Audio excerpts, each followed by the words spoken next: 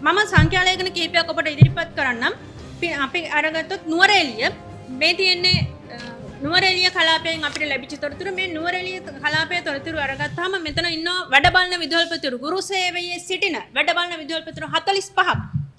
මේ හතලිස් පහක් වැඩබලන විදුහල්පතුරු ඉන්න නුවරෙලිය කලාපේ එකසිය පනස් පහක් සිටිය යුතු ශ්‍රනිධාරී විදුහල්පතිවරු ඉන්නවා.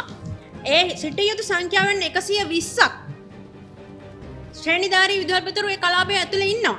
එයින් තිස් පහක් නියෝජිසා සහකාර කියන තැන්වල ඉන්නේ. මේ අයට විදුහල්පත්තන්තුරු දෙන්න පුළුවන්. ඒ දෙන්න පුළුවන්කම තියදි තමයි මේ හතලිස් පහක් මෙතන වැඩබල විදුහල්පතුරු විදිට සේවය කරන්න. මේ ගුරුවරු.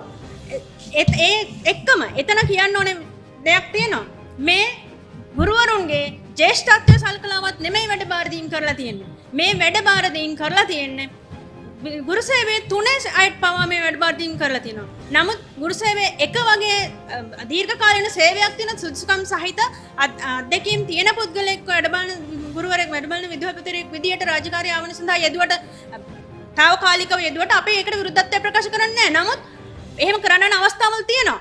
ඒම කරන්න කලාපද්‍යක්ෂකරු කොට්ට ශද්‍යක අධ්‍යක්ෂකරු අසරණ අවස්ථාවල් තියෙන නමුත් මේක මේ කරලා තියෙන දේ අනුව අපිට පේනවා පැහැදිලිවම ගුරුසේවේ තුනේ එක ගුරුසේවේ දෙකේ දෙක මෙන්න මේ තැන්වල ඉන්න අය පවා වැඩබලන විදුහල්පතුරු වශයෙන් මේ පාසල්වල සේවය කරනවා.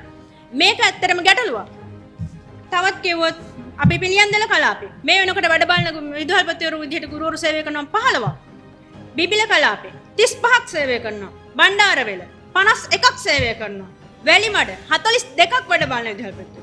බලංගොඩ 62ක් වැඩබලන විදුහල්පතිවරු.